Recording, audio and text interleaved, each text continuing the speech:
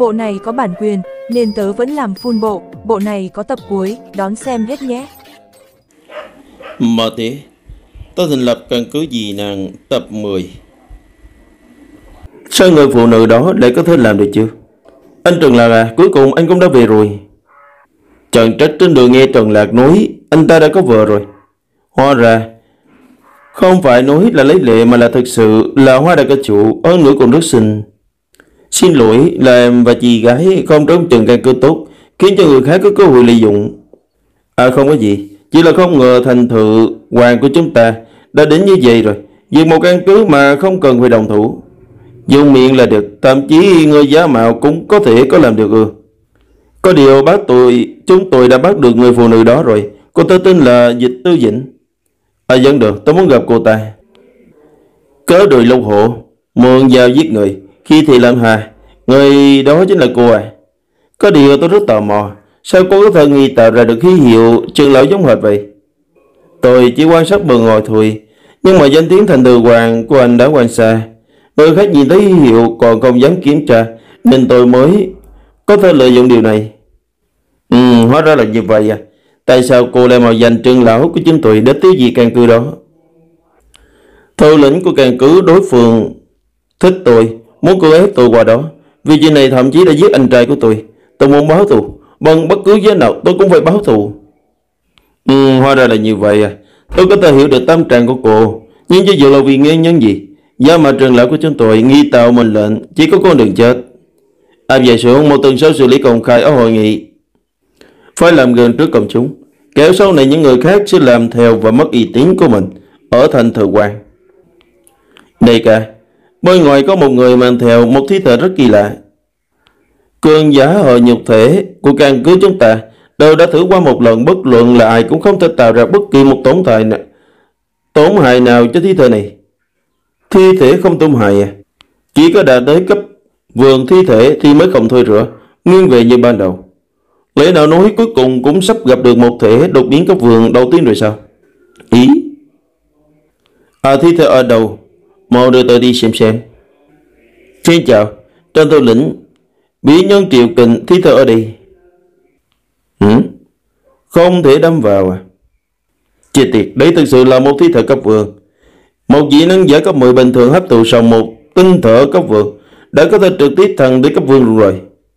Mặc dù mình là thăng cấp khó khăn vì sống gì năng nhưng mà hấp thụ nó cũng có thể là có bước nhảy vọt về thể chất. Anh đến đây là có ý gì? Mà dù tôi không biết tại sao thi thể này rất kỳ lạ, có lẽ bất phạm, tôi muốn dần lên cho Trần thủ lĩnh.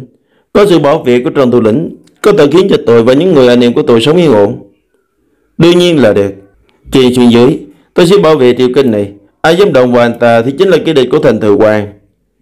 Trần hoàng, còn mà 20 tấn gạo cùng với một tấn khoai tây hộ tống đến căn cứ của anh ta. Nếu như người tôi muốn bảo vệ trở thành cái ăn mày thì nói ra ngoài cũng quá mất mặt rồi. Huy cảm ơn, cảm ơn đại ca. Đáng tiếc, không phải là hờ không gian. Có điều đợi hấp thụ xong cái này thì có lẽ mình cũng đã đạt tới cấp 9 nâng cao rồi. Vài ngày sau, căn cứ của các thành trấn gần thần đồ bị ngập lụt do thời tiết xấu của mưa lớn với một số lượng lớn người dân giả phải di cư hàng nghìn dặm. Các vị à, chúng tôi đi đường dài có càng lắm mới đến được thần đô, đang thiếu nó dừng chân, cổ trường phong. Nhưng mà xây dựng càng cứ ít nhiều cũng có chút tốn công, cho nên các người tự mình đi hay là để tôi từ ra tay. Đại cài của chúng tôi là cấp 7 rồi. Những người có tố chất tốt cũng có thể gia nhập với chúng tôi. Đừng có còn biết phân biệt được tốt xấu. Đồng gì đó, chúng tôi không dư, không dung độ lượng. Có thể cho các người thời gian 10 phút để lựa chọn. Nếu như còn đầu hàng, thì một kẻ cũng không thà. Cấp 7 thì dối lắm sao? Đừng gì đó. Tần thủ lĩnh thành thư quan thần đồ của tôi. Nói không chừng đây là cấp 9 rồi. Hả? Thành thư quan. Kết đi về số lượng nhân viên hơi lớn. Đối diện với một cường giả cấp 7 không thể cân rắn phòng thủ được. Chỉ thua trước thì sau đó tìm cơ hội liên hợp với người khác hoặc là để Trần thủ Lĩnh ra mặt. Đừng ồn ào nữa, căn cứ này chứ tôi nhường. Dù sao thì cũng không thể để một đám ngồi lại bắt nạt người thần đồ chúng ta được. Rời đi. Diệt một tên cũng không bỏ sót. để tránh hậu họ về sau. Hả? Sao cái người nói mà không giữ lời? Chỉ là do chúng mày quá nghi thờ. Chưa từng nghe việc quân cơ không hờ vui trái sao? Yên tâm mà chết đi. Những người sống sót của thần đồ chẳng hòa cũng chỉ là như vậy mà thôi, vô cùng yêu ớt. Đi cái ông nội mày, mày đến thành thừa hoàng thử xem. Xem mày có dám nói như vậy trước mặt của anh ta không? thử thì thử. Đi nghe ngóng về thành thừa quan này. Cùng lúc đó, không ngờ lần vì vì mình rời xa hai năm lại quay về thần đồ thương tâm này. Hai năm trước, mình chán nản nơi làm việc và gặp nhiều áp lực tinh thần, hay có gắt và tức giận, thậm chí cũng có suy nghĩ bạo lực và đáng sợ. Khi đó, tâm trí mơ màng thậm chí còn ra tay với một con chó hoang tội nghiệp. Xin lỗi cho nhỏ, nếu như gặp lại mày, tao sẽ bù đắp cho mày. À chị vì vì, chở bà em nghe ngóng về thế lực mạnh nhất ở thần độ hiện tại, em đã nghe ngóng được rồi, tên là Thành Thừa Quang. Nghe nói thực lực căn của họ không chỉ mạnh, còn có người cải thiện hạt giống có thể tăng lên 50% sản lượng. Hạt giống, mình cải thiện cùng lắm chỉ đạt tới 30%, còn lợi hại hơn cả mình nữa. Nếu như mà mình có thể gia nhập thì tôi biết bao. Tôi nghe nói thành ngày mai thành từ hoàng sẽ tổ chức hội nghị, có lẽ chúng ta có thể đưa người đến đó xem sao. Ừ, cứ làm như vậy đi. Người đâu? Dẫn dịch tư dĩnh qua đây. Thiên tai mưa bão số xả liên tục, khiến cho người sống sót ở nhiều thành phố phải di cư hàng ngàn dặm. Tất cả bọn họ đều tập trung ở gọn thần đô. Nghe nói vì chuyện này mà nhiều căn cứ đã bị kế ngoài lại tấn công. Cô gái này là màu dành trường lão của thành thừa hoàng tôi. Làm ra cái chuyện mà vô cùng chấn động. Cô thấy là chuyện gì tôi cũng không nói nhiều nữa. Không hiểu thì tự mà đi nghe ngóng. Tóm lại, mạo danh thành viên thành thừa hoàng chỉ có con đường chết, không cần biết nghi nhân. Mình lựa chọn tổ chức hội nghị này cũng coi như là một lời cảnh cáo cho đám ngồi la này. Kết đứt thời gian. Phong lệnh của thủ lĩnh, giết. Chì, lại là cái chiêu này. Sao chết một cách vô duyên vô cớ. Mỹ nhân khá xinh đẹp nó giết là giết ui tôi là đáng tiếc. Tô lĩnh, Trần vân bá khí như trước đây không thể đá tuổi. Là tàu hoa mát rồi sao? Vừa rồi hình như mình đã nhìn thấy một vết nứt màu đen thoáng qua. Đúng rồi, thông báo lại một lần nữa. Hiện tại chúng tôi đã thay đổi điều kiện thành viên. Từ bây giờ trở đi, chỉ tiến thành viên gì năng giả gặp xấu. Tôi không nghe nhầm chưa? Đây là lời của người nói sao? Chỉ thu nhận gặp xấu. Ôi, đến cấp nào như tôi cũng chưa đạt tới. Chỉ thu nhận cấp xấu à? Chị vì vị chị làm gì vậy? Trên đời này không có chỗ nào là vinh viễn. Tôi chỉ đi trước một bước. Một ngày nào đó, chết, chúng ta sẽ cùng gặp lại. Mình sẽ không để cho những người bạn đồng hành trở thành gánh nặng của mình. Kim Phương Hòa, mình chỉ đi trước một bước. Chào mọi người, tôi là diễn giả hội tự nhiên cấp 6. Cũng biết cài tạo hạt giống có thể thăng lên 30% sản lượng. Tôi vô cùng mong muốn gia nhập vào tự quan thành. Mọi người có thể tiếp nhận tôi không? Đương nhiên là có thể. Là một hạt giống không tệ nha. Vì vì, hoan nghênh sự gia nhập của cô. Tiếp theo, tôi sẽ đưa cô đi dạo quanh. Đây không phải là đi hộp về rồi hay sao? Được, cảm ơn Trần Thủ lĩnh. Hử? Giọng nói này, nhiều năm về trước. Ừ, mình quên đóng ra rồi. May mà không có thứ gì có giá trị. Hử? Sao con chó này còn lơ đi? Đôi lúc tâm trạng bà đi không tốt. Yên lặng một chút đi. Ôi, xin lỗi mà, chỉ là tôi quá lệnh thôi, Tôi không nên vào đây Ôi, đừng có đâm nữa cầu xin cô đó Ngoan, Tao muốn cắt tay của mày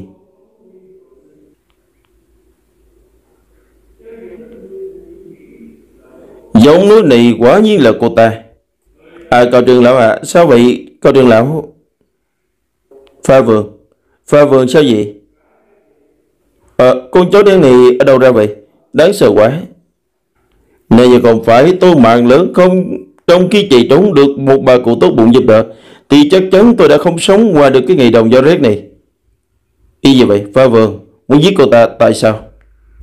Vì cô ta đã chém tay của Phá Vườn còn đâm lên người Phá Vườn và nhắc vào Hử? Gâu gâu gâu gâu gâu. Phá Vườn hỏi anh lời hứa sẽ thấy nó giết kẻ thù có tính không? Lần vì vì, Tôi hỏi cô, có phải cô từng cất tài một con chó không? Ừ, ừ sao được gì anh ta lại hỏi như vậy? Lẽ nào con chó đó chính là... Tôi, tôi không có. Sao có thể làm cái lộ chuyện như vậy chứ? Nhìn phản ứng của cô ta là bằng chứng xác thực rồi. Không thừa nhận cũng không sao. Tôi cũng không cần chứng cứ. Cậu trưởng lão xác định đó chính là cô là đủ rồi. Pha vườn, mày tự làm hay là để tao? Gâu gâu. À được, được thôi, tôi thừa nhận là do tôi làm. Có điều khi đó tôi vừa làm việc tinh thần thực sự đã mất đi khống chế nên mới. Tôi thực sự không cố ý, cầu xin anh, hãy tha thứ cho tôi. Tha thứ cho cô là chuyện của Thượng Đế. Chuyện Pháp Vườn muốn làm là đưa có đi gặp Thượng Đế. Trong thủ lĩnh à, tôi là người, nó là chó, anh có thể đứng về phía tôi, tha thứ cho tôi có đúng không? Huống hồ tôi gia nhập là người trước. Các người trước, nói như các người là như vậy với tôi, thì chuyện này mà truyền ra ngoài thì ai dám gia nhập căn cứ của các người nữa. Phà vâng, có cần tao giúp mày không? Mày để cái qua đây, con xin mày đó ta cho tao đi. Ây da, Ây da, đâu có tôi, đâu có tôi. Phà vâng, tình hình của cô ta không đúng lắm. Nhìn giống như là dưới sự thay đổi, cực độ đã cảm xúc, đã thức tỉnh, thức tỉnh xong dị năng rồi. Thức tỉnh xong dị năng ư? vậy thì quá tốt rồi. Mình đang sợ một cái tác thì tính tích cô ta. Bây giờ thì không sợ nữa rồi. Ây dừng lại, dừng lại. Tề súc sinh này, tao bảo mày dừng lại. Tao muốn giết sẽ chúng mày. Ý gì vậy? Quỳ gâu gâu đế tôi. Đi rồi, nhưng đừng có đánh trong căn cứ. Phá hủy hoa cỏ là không tốt. Không vàng. Tôi hiểu. Lưu đầy. Chuyện ở đây giờ cho Pháp Vương vậy. Thật sự không ngờ lần vì vì là bị kích thích đến mức bạo phát ra sống gì nè. Có thể nhìn cô ta là hờ hắc ám. Ừ? Pháp Vương đã là cấp 8 rồi. Sự công kích như vậy cũng không có hiệu quả với cô ta sao? Một quái vật có cấp phòng ngự kinh người. Còn chơi nhỏ, mày đang tạo gió sao? Ừ? Mình chắc chắc là không hoa mắt. Tốc độ công kích của Pháp Vương giảm xuống. Lượng đạo hình như cũng đã giảm đi. Pháp Vương kéo dài. Không nên như vậy. Lẽ nào là quái vật biến thần của lần vì vì có hiệu quả nghiền rủa? sao vậy? Chưa chứ nhỏ. Mỗi như vậy mà cũng không chịu được. Được rồi sao? Đi đi đi, tao ở đây nè. Đến đến tao đi. Ai... Hình như cứ thử càng ngày càng mệt rồi. Gỗ. Pha vợ, cam cự, mày đã không còn là con chó khi đó nữa rồi. Mày là lôi điện pháp vương. Nhưng người này ta nhất định phải chính diện di trích của ta. Còn một, hình như quái vật này còn đã hấp thụ một phần tốc độ và lực lượng của pháp vương. Càng ngày càng lợi hại rồi. Cũng còn, sự tiêu vọng và đau đớn của mày đã trải qua sẽ tiếp diễn mà không ai có thể giúp mày. Chỉ như vậy từ sao? Cho mày cơ hội lại không trọng dụng. Thứ vô dụng, một con chó nhường không ai còn như mày. Lấy cái gì để đấu với tao? Còn trương lão ừ, từ chó má thì đúng hơn. Ý giá, gấu. Pháp vương, gấu. Chuyện này là sao chứ? Kiếp trước không ngờ thấy Pháp Vương có tí xếp màu tím. Cái gì? Hãy nếm sự sức mạnh, sự tức giận của chó như thế nào đi. À dạ, không. Uy lực này vô cùng đáng sợ. Pháp Vương, mày không sợ chứ? Ừ, gấu gấu. Ai tôi không nhờ anh giúp đỡ, vậy nên anh không được thu điểm tích lý của tôi. Ây dạ. À Pháp Vương, vừa rồi quan điểm trên người của mày là sao vậy? Trước đó chưa từng thấy mày dùng. À chuyện này nên giải thích thế nào đây? Mình trực tiếp biểu diễn cho anh ta xem vậy. Chờ tiệc chỉ thôi có một cái thành một con gió mạnh. Lý nào cũng đã thức tỉnh xong dị năng rồi sao? Pha vừa à mày thổi mạnh hơn một chút xem. Thử xem có thể thổi thành là lốc xoáy không?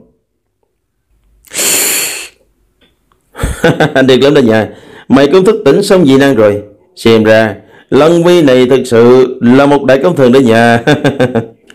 Có điều thông thường họ tự nhiên biến thần, đều là các loài động vật, sẽ không biến thành thứ quỷ quái này.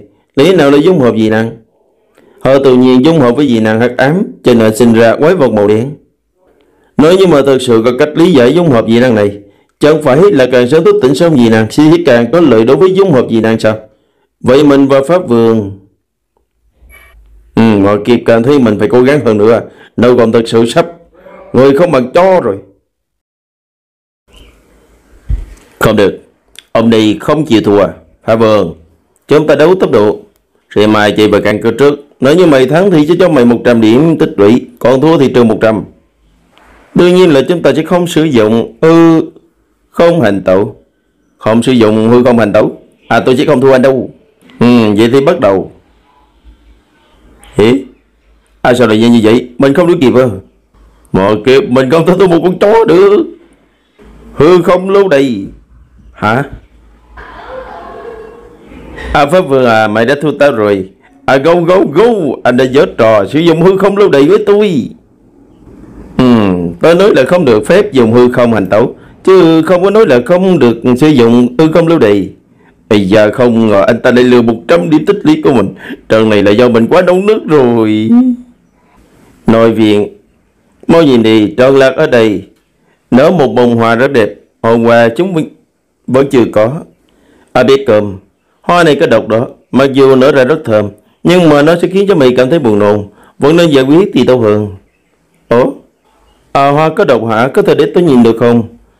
Quả thực là thực vật biến gì cũng có không ít lợi ích. Hay là đưa hoa này đi cho tôi nghiên cứu. Có lẽ nó vẫn có thể giải quyết vấn đề khó ăn của con cá hồ đó. À đi thôi. Sau này tôi sẽ bảo quản các thành viên chú ý một chút. Nếu như nhìn thấy các loài hoa thực vật thì cho mang về một chút cho chị. Dạ Ê, Ui cảm giác này là sắp thân cấp rồi. Ôi, Thân cấp gì nàng cấp chín? Ôi cuối cùng cũng không cùng cấp với chó nữa rồi. Nếu như đạt tới cấp 9 rồi Thì dị năng tăng lượng tăng vọt. Có thể có phải là mình cũng có thể sử dụng được song hợp dị năng? Xem xem có thể sử dụng được dung hợp dị năng không? Lần vì vì lại có thể dung hợp hờ ám và hờ tự nhiên. Trở thành quái vật hạt ám Pha vườn lại có thể sử dụng phong đôi thiệm Vậy thời gian cộng thơm không gian Của mình thì sao? Có thể trở thành cái thứ gì đi À biết cơ mà. Mày có ngoài cửa không vậy? Ra đấy một chút. Ừ anh muốn tôi ngủ cùng sao? À họ hàng phiền phức đó cũng mới lập lại đến rồi. Đúng lúc có thở ở bên cạnh bê cơm của chúng ta. Bê cơm Mày nói xem sau khi ta dung hợp Thì sẽ như thế nào? À gì đó một chút đi. À tôi thấy anh chết. Ừ thì đó là đừng thử. Dĩ năng thời không tiêu hao khủng khiếp như vậy sao? Thử là chết liền á. À được thôi, tạm thời ta chỉ cầm thử. Nhưng mà phải đợi đến khi nào chưa cấp 10 hay là cấp vườn đây. Vừa rồi đội viên đình báo Nói ở bên bờ biển có một miệng nhọn tì sắt Mà tại biển, có thể biến thành người thành tường băng. Lý nào là ngừng xuống? Là hắn Năng lực thần kỳ của cái tên này đã ta vẫn chưa tìm ra Lỡ đầu hắn vô liêm sĩ Anh lại muốn lục ở quần áo của ta thì sao Ừ, ta không muốn tiếp tục mất mặt nữa đâu, ta phải chạy. Hỉ? Ừ, ừ, sao mình nhìn thấy mình lại bỏ chạy gì ta? Ê, ôi, nè nè, có được cái chạy. Có chạy cái gì chứ, đừng có sợ, tôi không phải là người tốt. À, hoặc không đúng, à, tôi là người tốt, không cần sợ. Hư không hành tẩu. Cái đồ đồ mạnh, thả tôi ra. Ôi ấy cô cố đừng có ngậm máu phun người, tôi cảm thấy có lẽ gì chúng ta có hiểu lầm gì đó. Chúng ta có hiểu lầm gì đó hay là tìm một người à, để nói chuyện hả? Cô thấy sao? Anh đừng ép tôi. À đừng có kích động như vậy chứ. Cho một cơ hội để chúng ta nói chuyện đi. Tôi nghĩ cô tìm được một bộ quần áo cũng không dễ dàng gì. Nếu như mà cô không đồng ý thì tôi chỉ có thể đợi tiền vô liêm sĩ alo bị anh nhìn thêm một lần nữa thì sao chứ? Dầu sau thì mình biến về bản thể rồi. Nhiều nhất cũng chỉ bị nhìn thấy một nửa. À, nếu như anh đã biết điều thì bây giờ đi đi đâu không? Nếu không đừng trách tôi không gạch khí. Uhm, Cuối cùng cũng tìm được cô rồi. Ngân Sương à Hải Thân Địa Hạ lời cái lời mời Đi cùng với chúng tôi một chuyến. Ừ, Còn xưa tàu quá. Nhìn thì có vẻ là cấp 10 Đúng lúc mình đang thiếu một hai tên thơ cấp 10 Không phải đi rồi hay sao? Đi hay không là do cô Không do cô quyết định Cái heo nhỏ bị chúng tôi bắt đi rồi Có điều con sứa này đang khò khè khò khè nói cái gì vậy ta Nhìn sắc mặt ngân sương thì không được tục lắm Hãy thần khống chế cái heo nhỏ Mời mình qua đó chắc chắn là Hồng Mộng Yến. Mình đi một mình. Nói không chừng là lành ít chưa nhiều. Đi đã, không phải cái tên này biết thủ đoạn thần kỳ vậy sao? Hai cờ cũng được người này dùng thủ đoạn thần kỳ để cứu. Anh đó, có thể giúp tôi một chuyện được không? Hả, cô ta nói gì? Cô ta muốn nhờ mình giúp á? Ừ, đã nói tôi là người tốt rồi. Mấy vị giúp người làm niềm vui. Lên nơi đào xuống miên lửa thì tôi cũng sẽ giúp cô. Sao chị Hải Cờ lại có cơ hội tạo quan hệ tốt với đại lão rồi? Cây hề nhỏ, bị Hải Hần à, cũng là chính là con cá mập trắng đó bắt đi rồi. Hải Thần là có rất nhiều thuộc hạ mạnh. Tôi muốn anh đi cùng tôi. Giúp tôi có con cá heo nhỏ về. Chuyện này không đơn giản nha. Ngân Xuân là cấp vườn mà hái Thần có thể khiến cho cô ta sợ hãi như vậy. Thì chắc cũng là cấp vườn. Mình ứng phó với cấp vườn cũng khó. Huống hồ hái Thần cũng có thuộc hạ. Ai có thể chịu nổi việc đánh hội đồng chứ? Khi khi khi khi Chỗ cô là cô có đi hay không? Không đi tôi sẽ về giết hết. Chết cái heo nhỏ. Đi, đi, đi. Được rồi, đi trên tình hình thế nào đã? Nếu như mà ngân sườn có thể chặn được hải thần, vậy thì tiện tay mang cái heo nhỏ về. Nếu như mà nhìn có vẻ như không trừ được, vậy thì xin lỗi nhà, tôi cũng không thể nào mạo hiểm sống chết mà cứu cô được. Hải thần điện. À Hải thần đại nhân Tôi thấy ngài và ngân sườn có mâu thuẫn Nên đã bất đồng bọn của cô. Ta là cái heo nhỏ về cho ngài. Tôi là Hải thần. Hải thần Sao có thể làm chuyện như vậy? Như vậy là sĩ nhục thần uy. Hải thần bạch hạo không có chút sức thuyết phục nào, Mất tự diện. Không ổn rồi, Cái heo nhỏ vừa mới bắt về nó đã tự sát rồi. Hai từ này nhỏ chuyện này chuyện này nên làm thế nào đi chúng ta không có cứu nói không? Hử? Cứu không? Trực tiếp ăn nó không phải là bước phiền phức gì sao? Chi ngân sườn vĩnh biệt tuyệt đối, đừng có đến cứu em. Hả? Ờ cô sao vậy? cái nhỏ gửi tin tức tâm linh cho tôi, ở khoảng cách xa, nó chết rồi người bạn duy nhất của tôi chết rồi không muốn tôi để tôi đi câu đó nó tự sát rồi. Tôi phải báo thù cho cái thằng nhỏ Tôi phải giết chết nghĩ thần đó. À cô bình tĩnh lại đi. Cô liều lĩnh xong qua đó Thì chỉ có con đường chết thôi. Có lẽ kia trước mình chưa từng gặp ngân sườn Chính là vì cô ta nhất thời kích động Nên là vì hải thần gì chết. Hư không hành tẩu. Tôi mà kệ bây giờ tôi muốn đi. Hư không lưu đi Quay lại cho tôi Quay lại đi cho tôi. Ừ, Cái hiệu nhỏ. Họ đi, trúng hết rồi đi. Đợi có trúng hết ra rồi thì chúng ta liền thủ đi giết chết hải thần Thấy sao? À tình hình không ổn rồi. Mau chuồng thôi. Cười xưa nhỏ, Sao lại không hiểu quy tắc như vậy? Nào đã đến rồi, Thì nên hiểu chuyện một chút để lấy mạng ở đây đi. Yêu quá, hóa ra chỉ là một con sư cấp 8 Tôi còn tưởng là cấp 10 chứ. Ai, mất công mừng hụt quá. Vâng, Ngân Sượng Lời người chúng ta có một câu tục ngữ nó rất hay. Quân thù. Quân tử đã thù 10 năm chưa muộn Mà dù bây giờ tôi chưa cách nào để giết chết hai thần đó Nhưng một năm, trong vòng một năm chúng ta liên thủ thì ta đảm bảo có thể giết chết hai thần. Có thêm hai ba tên thợ cấp vương nữa, thì mình có thể thần cấp lên cấp vương. Còn không thể giết chết hai thần đó thì sao? Đến tuổi anh còn không thể đến lại, thì dựa vào cái gì mà nói như vậy? Không bao lâu nữa thì cô không thể là đối thủ của tôi nữa rồi. Nhưng mà nếu tôi giúp cô giết chết hai thần có điểm báo tức đó tôi thế nào? Không thể để cho người thật thà làm hết sức mà vẫn không được lợi ích gì để chơi. Ừ, chỉ còn duy chết hai thuận thì anh muốn thế nào cũng được. Được. Không phải mỹ nhân người đã mất bấy đi rồi hay sao? Mình đã cứu được một mỹ nhân người trong truyền thuyết. Đúng là công đức vô lượng nha. Tiền thật cấp bảy được bao nhiêu điểm tích lũy? Cái gì cơ? Mày nói cái gì? Tao không nghe nhầm đấy chứ. Cho nó được tiếng người rồi. À mày nói lại tao nghe xem xem. Tên thật cấp 7, cấp 8, cấp 9, cấp 10 được bao nhiêu điểm tích lũy? À dạ mọi người ơi mau ra đây mà xem này, Pháp Vương đã biết nói rồi À có đến mức gì vậy không Không phải thỉnh thoảng anh cũng không nói tiếng người sao chứ À đi Hải Anh gầy đi nhiều rồi đó Có cờ màng đã là tốt lắm rồi Thời đại này ai mà không gầy gì chứ Tôi đến đây đưa tài liệu cho anh Bên trên có ghi chép tất cả những thông tin của căn cứ gần đây đến thần đồ đóng quân. À để được để tôi xem xem. thế như điều tra năng lực họ tự nhiên, thì hơn 3 tháng trước khi ở thành phố Cà thân niên gặp xấu, thì công chế biến thân cường đại có thể tạm thời có được năng lực cấp 7. Tốt bụng và đối xử tốt với cấp dưới của mình, nhưng lại sự thiếu quyết đoán của phụ nữ đã thành thạo các loại biến thần bao gồm hỏa điểu và lôi lai. Ừm, Lộ Thiên Trúc à, mới nhớ rằng cô ấy là các vườn họ tự nhiên duy nhất trong tương lai. Lô Thiên Trúc là một hạt giống không tội. Chi bằng thì Minh đức Thần thể hiện hành ý, xem như có thể trực tiếp thu nhận cô ta không. Dù sao thì Lô Thiên Trúc không phải là kỳ ngốc, cũng không phải người phụ nữ có giả tâm. Minh đức Thần ra chiêu mộ thì rất có thể sẽ thành công. Hả? Tên này sau này cũng là cao vườn, không ngờ lại chỉ đến thần đồ rồi. Có điều lại gai gốc như vậy là muốn thu phục cũng không dễ dàng gì. Tư liệu khá ổn, vất vả rồi, tôi ra ngồi một chuyến. À được, căn cứ Lô Thiên Trúc.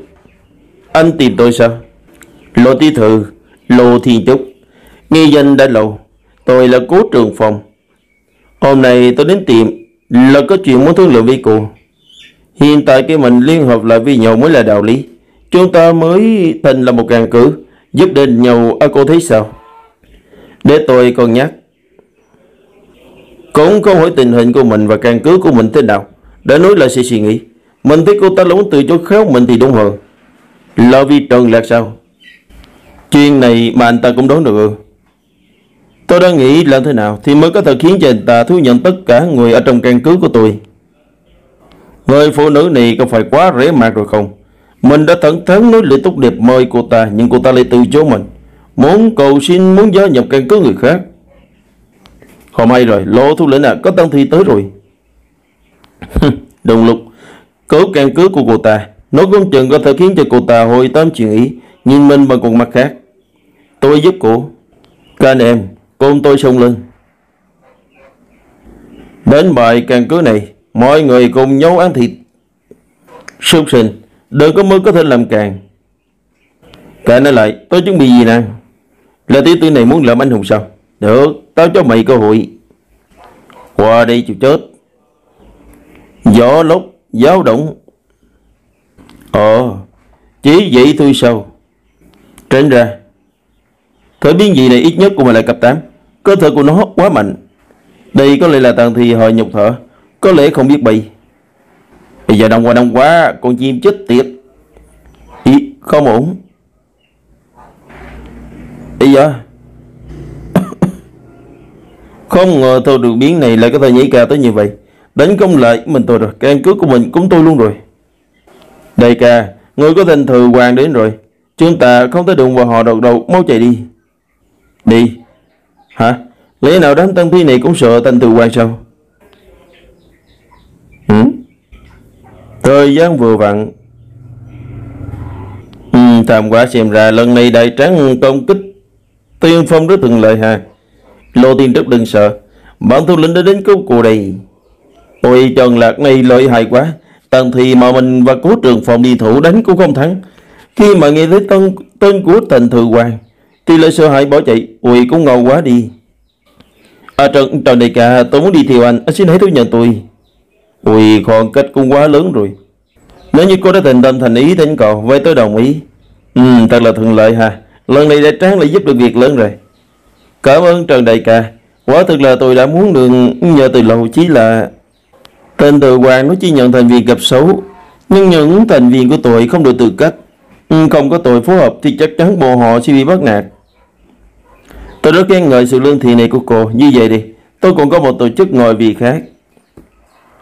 Để cho bọn họ vào đó Tất cả đều tự dựa vào bản thân Có điều có thể đảm bảo bọn họ không bị bắt nạt Ôi cảm ơn, cảm ơn Trần Đại ca. Cậu là tiểu cố đúng không? Tôi có từng nghe nói đến cậu, hình như có vài gián điệp là do cậu phải tới. Tôi không quan tâm cậu làm thế nào, để căn cứ trở nên lớn mạnh như vậy, nhưng có một số chuyện cậu không thể làm. Một khi đã làm thì không thể xóa dịu nữa. Lần sau trước khi làm, thì hãy suy nghĩ tính thật kỹ. À được, à, được tôi, tôi hiểu. Được rồi, lo tiền trước chúng ta đi. Rõ. Trần Lạc Tháng trước không được coi là thắng Sẽ có một ngày tôi sẽ vượt qua anh